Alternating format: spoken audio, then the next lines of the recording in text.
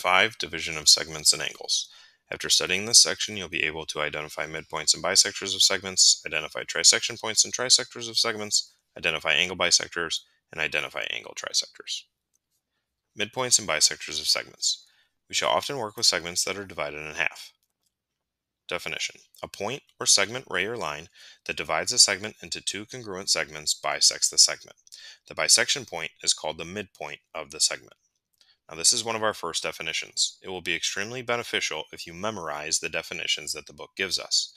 It will be also helpful for proofs if you create each definition into a conditional statement. Remember, a conditional statement is an if then statement.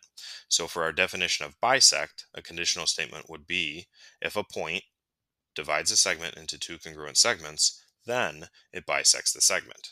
Now, a conditional statement for midpoint could be if a point is a midpoint, then it splits the segment into two congruent segments. Only segments have midpoints. It does not make sense to say that a ray or line has midpoint because rays and lines extend infinitely and we can't have a midpoint of infinity. Now in my figure below I have line segment PQ. How many midpoints does line segment PQ have? Well, it would only have one midpoint because there's only one middle point of that line segment. However, it could have an infinite amount of bisectors that create that one midpoint. Looking at a few examples, we have if line segment XY bisects line segment AC at B, what conclusions can we draw?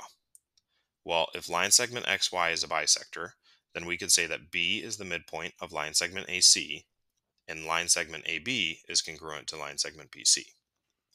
Example 2. If D is the midpoint of line segment FE, what conclusions can we draw? Again, midpoint definition would give us line segment FD is congruent to line segment DE, point D is a bisector of line segment FE, and line segment DG bisects line segment FE. My last example, if line segment OK is congruent to line segment KP, what conclusions can we draw? Well, if these two segments are congruent, then I know that the point in the middle would be the midpoint. So K is the midpoint of line segment OP. Line JM is a bisector of line OP. And point K bisects line segment OP. Now trisection points and trisecting a segment. A segment divided into three congruent parts is said to be trisected. So like bisection, we now have three congruent parts instead of two. So another definition, two points or segments, rays or lines that divide a segment into three congruent segments trisect the segment. The two points at which the segment is divided are called the trisection points of the segment. Again, only segments have trisection points. Rays and lines do not have trisection points because they will extend infinitely. Looking at a few more examples, if line segment AR is congruent to line segment RS, which is congruent to line segment SC, what conclusions can we draw?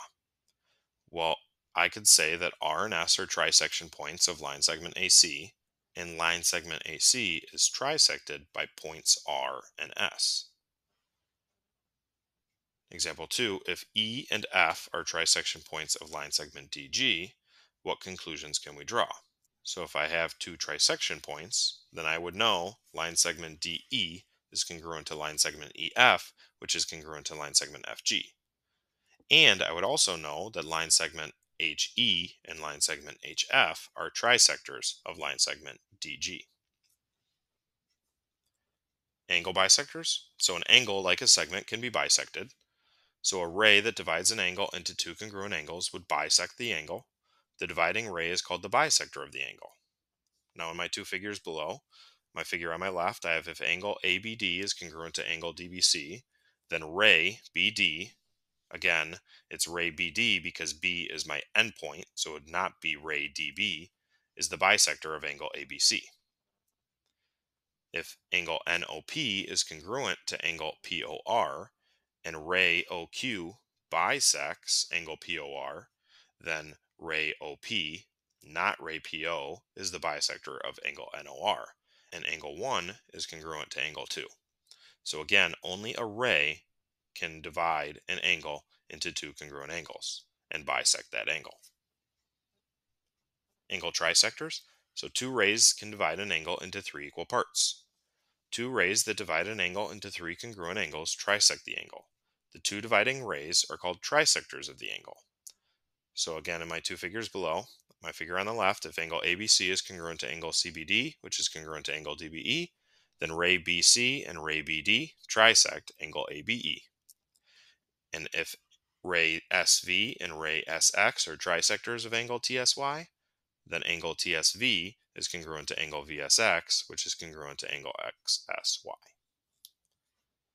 So again, summarizing all these definitions, we had segment bisector, midpoint, segment trisector, angle bisector, and angle trisector for section 1.5. Make sure you memorize these as well as create conditional statements for them as that will be extremely beneficial for you.